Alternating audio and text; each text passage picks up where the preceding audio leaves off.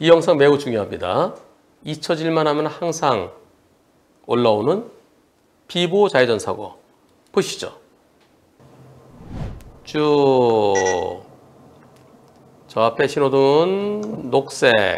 녹색의 정상적으로 지나가는데 그런데 여기까지 왔는데 이런 이런 이런 이런 피할 수 있습니까? 아니 내가 먼저 들어갔어요. 내가 여기에서 여기 들어갔는데 저 차는 저 차는 불나방 같이 달려듭니다. 여기에서요 못 피하죠. 근데 이걸 보험사에서 비보호자에서는 80대 20이래요. 아, 미치겠어요. 그 분심이 가야 된대요. 80이 받아들입시다. 싫어요? 그럼 분심이 가야 돼요. 제가 분심이 가지 말라 그랬어요. 분심이 가면 이상하게 나올 수 있으니까. 그래서 분심이 안 가고 곧바로 소송 갔습니다. 소송 간 결과 어떻게 나왔을까요? 서울중앙지방법원에서 판결이 선고됐습니다. 80대 20이래요.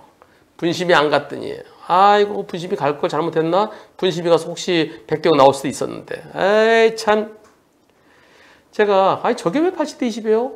바로 항소하세요. 그때 보험사에서 항소를 안 해준대요. 아니 항소를 함부로 하는 게 아니고 항소는 아 20에서 끝나는 거야. 대부분이 다 끝나. 뭐 특별한 거 있어? 새로운 거 있어? 항상 보험사가 두 가지 얘기합니다. 하나는 새로운 증거 있냐? 아 새로운 증거 왜 필요해요? 1심 판사는 80대 20이면 항소심 판사 항소심 판사는 과연 몇 대 몇을 하는지 한 번 더 평가받으면 그게 항소예요. 또 두 번째 소송 비용이 500만 원 든대요. 나중에는 500만 원이 아니라 뭐 200, 200만 원이라든가 뭐 200 몇십만 원이라든가 나중에 말을 바꿨어요. 근데 처음에는 500만 원 누가 낼 거야? 뭐 그러면서 이런 거 소송 항소 안 하는 거래요. 근데 겨우 겨우 진짜 애원 애원하다시피 해서 항소 갔습니다. 아무것도 새로운 증거 없었어요. 요 증거는 요 영상 이거 하나밖에 없어요. 이 블랙박스 영상 딱 보여줬습니다. 항소심에서 어떻게 나왔을까요? 안 해준다는 거 진짜 진짜 힘들게 항소한 결과 서울중앙지방법원 2019 나 4007 1 판결은 작년 11월 29일에 선고됐어요.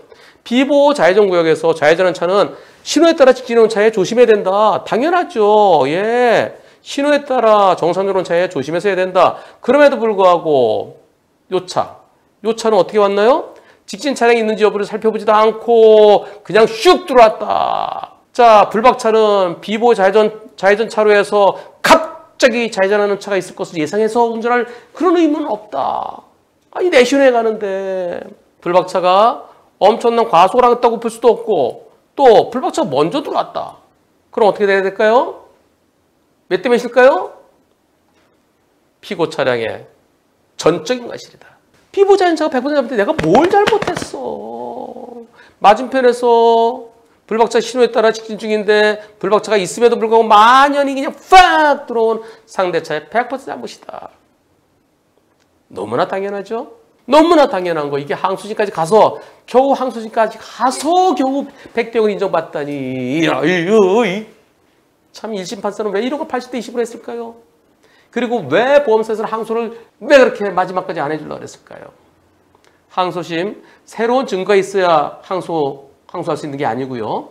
1심에서 이 블랙박스 영상을 보고 80대 20이라고? 나 인정 못해. 다시 한번 봐주세요. 이게 항소입니다. 새로운 증거 있어야 항소하는 게 아니에요. 항상 보험사 그렇죠. 뭐 새로운 증거 있어? 아 그럼 못해. 그게 절대 아닙니다. 새로운 증거가 나타나는 경우는 100건 중에 한 건도 안 돼요. 한 건 될까 말까예요. 1심에 다 1심에 최소 다 하는 거예요. 다 했는데 다시 한번 평가해 달라는 겁니다. 너무나 당연한 100대 0이죠. 이제 100대 0은 아 처음부터 인정합시다. 처음부터. 제발요. 제발.